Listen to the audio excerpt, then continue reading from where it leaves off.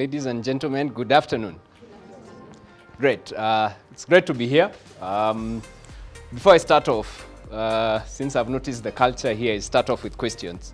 So how many here have been uh, either a victim of uh, cybercrime as an individual or a corporate? Wow, okay.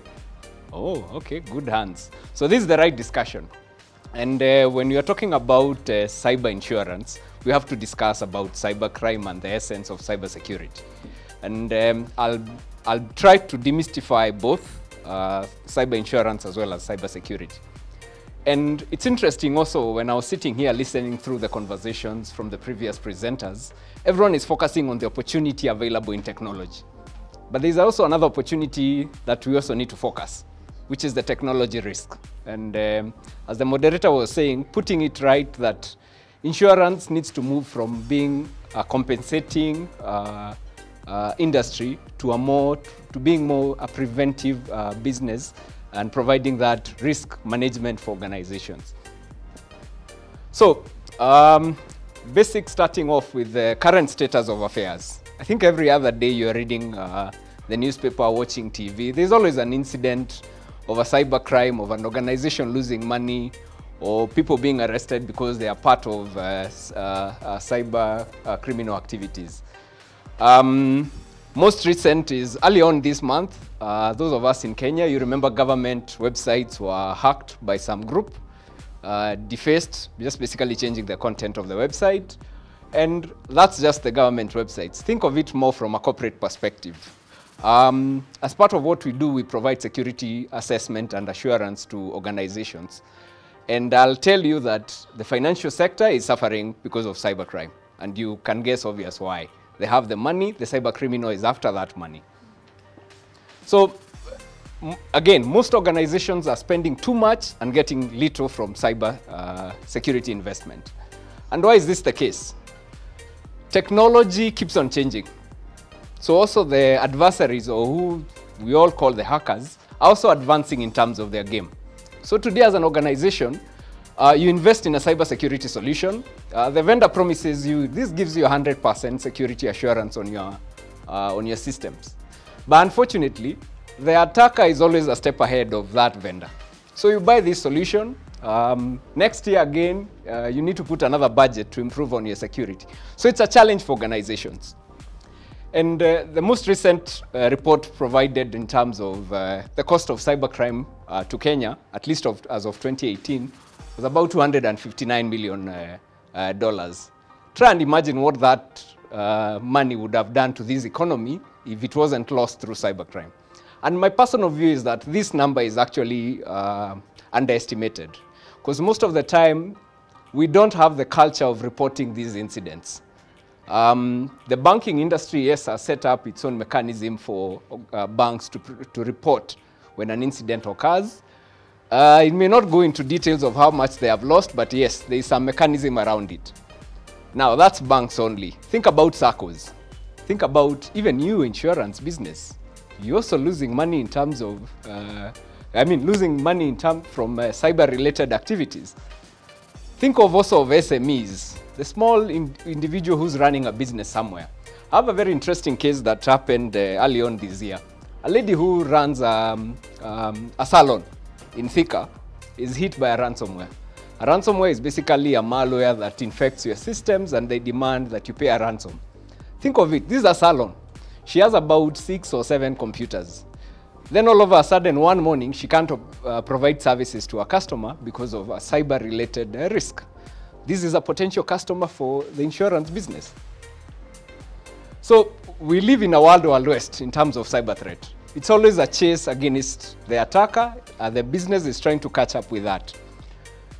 Now, it becomes very interesting because um, the gangs, the criminal gangs, of course, they are organized uh, groups, uh, the famous ones being Anonymous and a few others. Even in our own country here, there are some organized uh, criminal gangs who are just running syndicates within the cyber uh, crime space. And it becomes more complicated when you get to a level where states are actually sponsoring this. You might be very aware about the, you know, the famous American, Russian, Chinese war.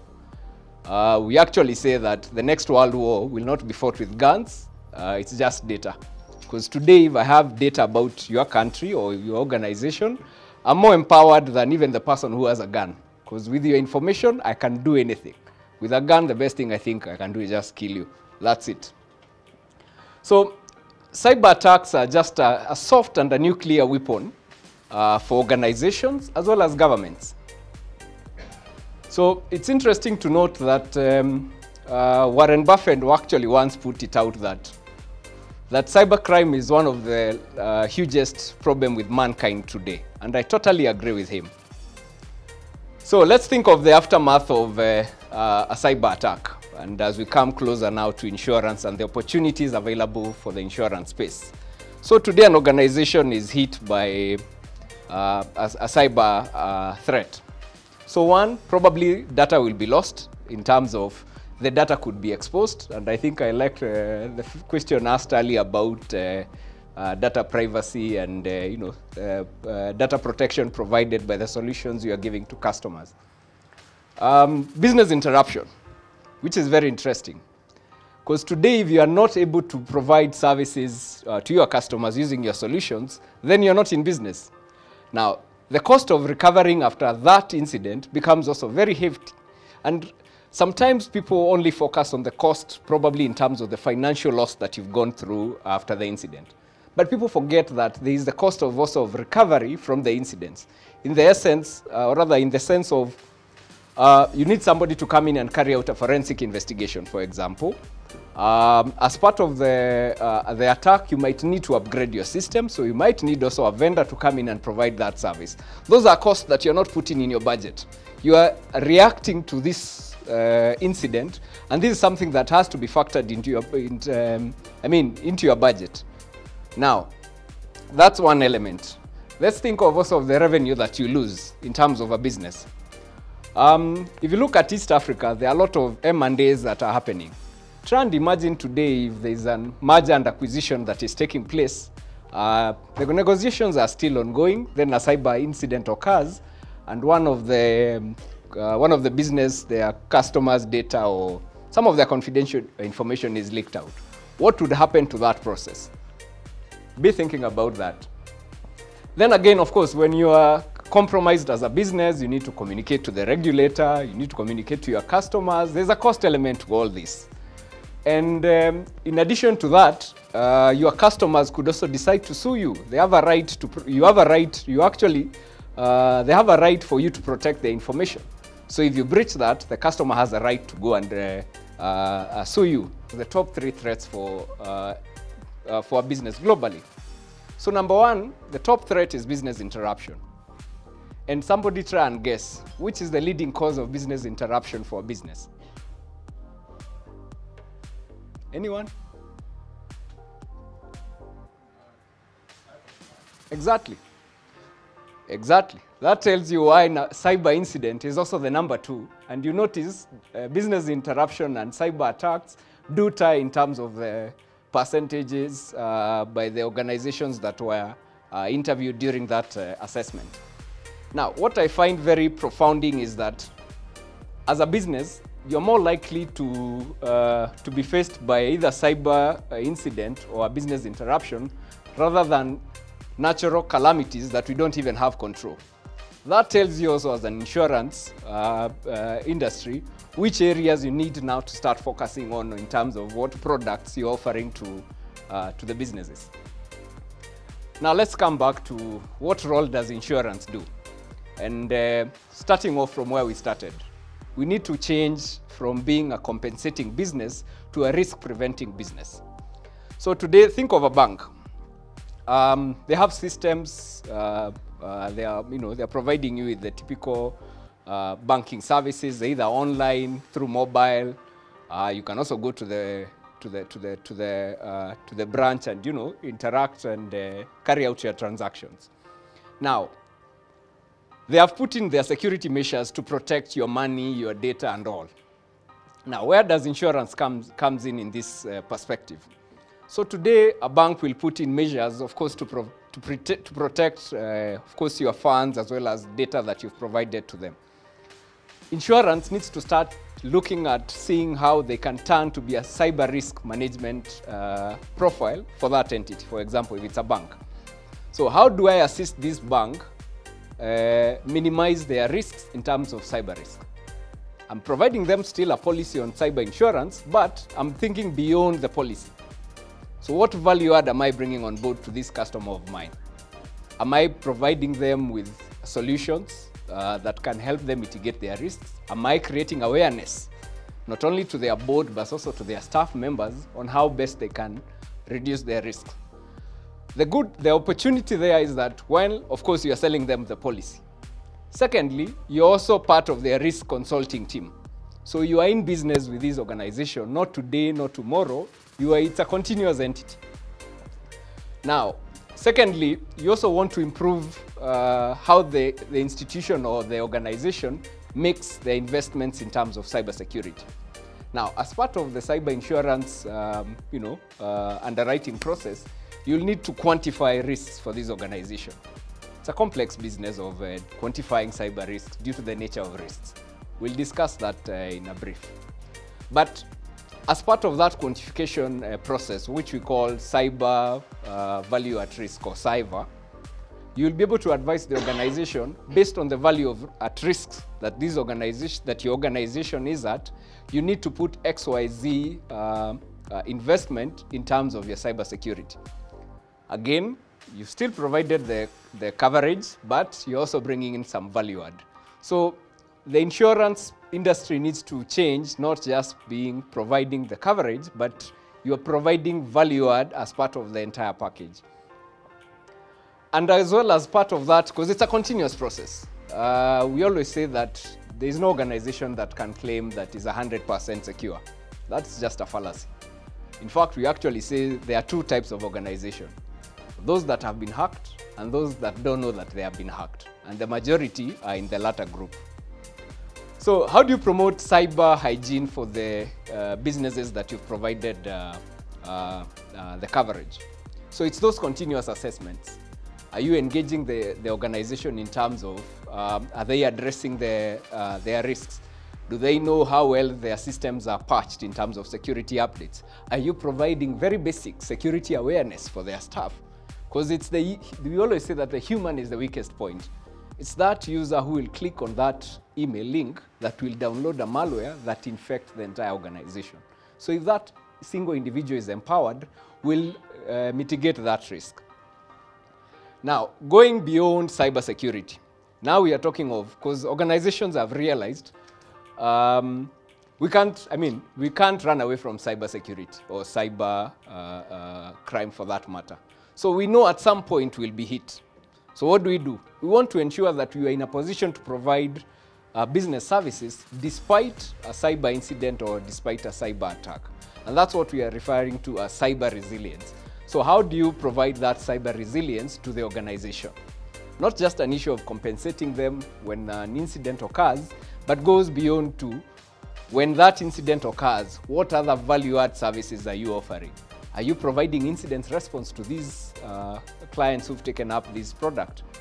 Beyond that, they also need PR services. If today one of our local banks uh, tell, we get to, to know that they have been compromised, we need somebody to come out here and tell us, hey, wait a minute, yes, we acknowledge an incident occurs, but things are under control.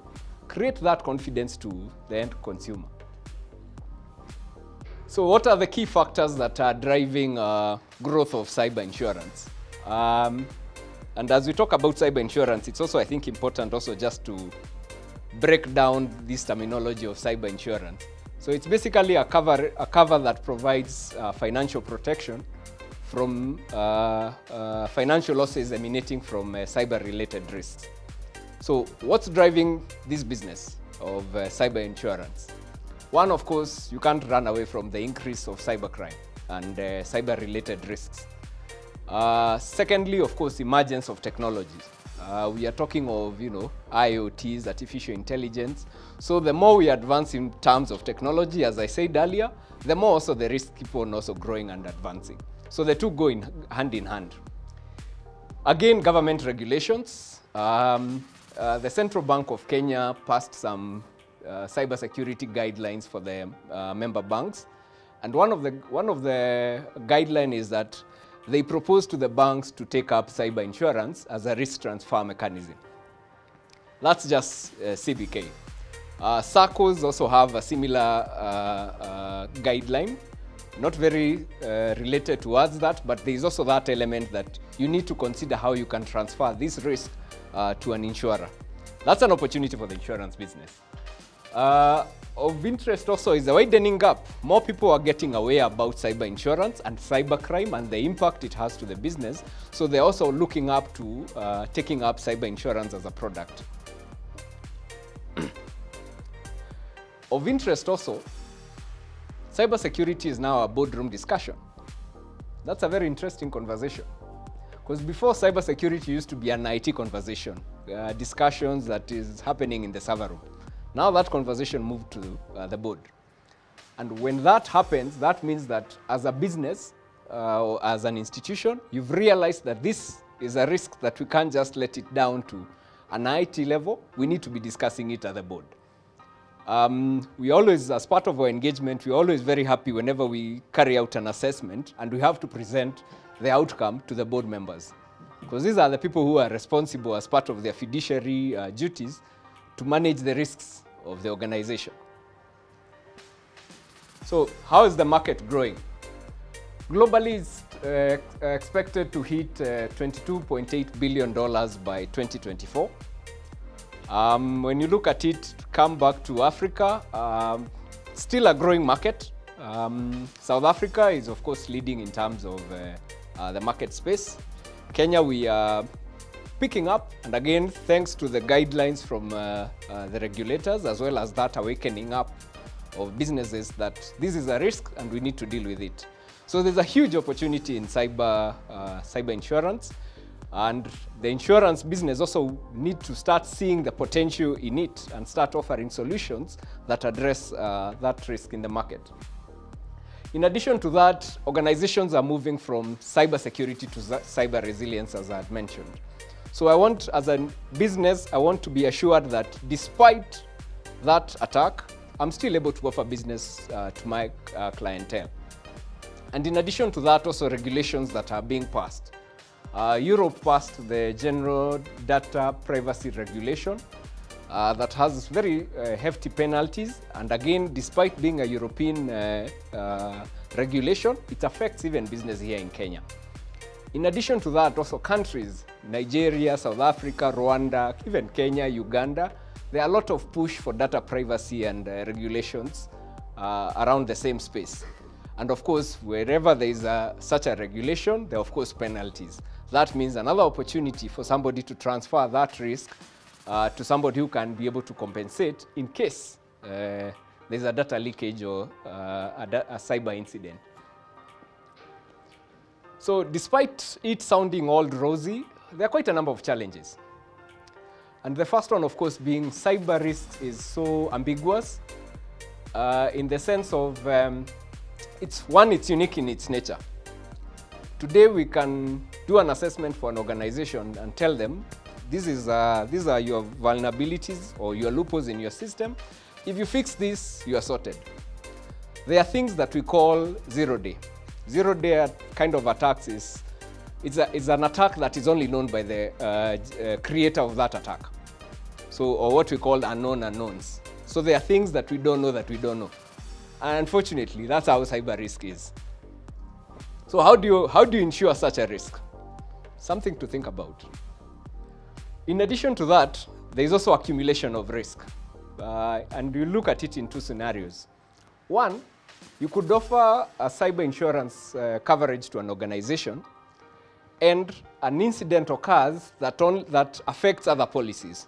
So take, for example, you've offered the same coverage to uh, gas manufacturing you know, in the, uh, business. A malware uh, attacks their automation systems that leads to an explosion in that plant. So property is destroyed. In addition to that, probably some, there are some fatalities. So does your cyber insurance also coverage also provide uh, protection and uh, compensation for the other two? That's one scenario. Another scenario, you've provided uh, cyber insurance to a service provider. And I'll give you a classic example that happened uh, last year, October, November. So uh, a provider, um, a service provider provides a mobile solution to SACCOs in Kenya. 40 SACCOs were impacted by an incident that occurs. Now, the, the, the attack, of course, was from the system provided by the service provider. Now, assume you had provided a coverage to this uh, service provider. Does that coverage extend to their 40 customers and as well as the other customers, now the members of the SACCOs, from uh, that coverage? So that's something also very interesting to uh, ponder and think about. Again, also lack of awareness in terms of uh, the people who are making decisions uh, don't, are not empowered to understand what's the value of cyber insurance. Um, an interesting scenario. Um, I once engaged somebody within our cybersecurity space on cyber insurance. And uh, the individual, you know, said, there's no market for cyber insurance in Kenya. I mean, I really can't see it. Now, the individual went to work for a bank and the bank at some point requested him, being the head of IT security, to go and source for cyber insurance coverage. So you see, at, at, at the level he was at, as the head of security, for him, he didn't see the point of cyber insurance. But the board can see the value of cyber insurance. And there's, and think of it, this is just one of the bank. Do you think this conversation is also in the other businesses, even in your own insurance uh, businesses? How many of your insurance uh, businesses are also thinking of even selling cyber insurance as a product? And of course, the most interesting thing, uh, attacks, cyber attacks, don't occur on the day you feel the pain.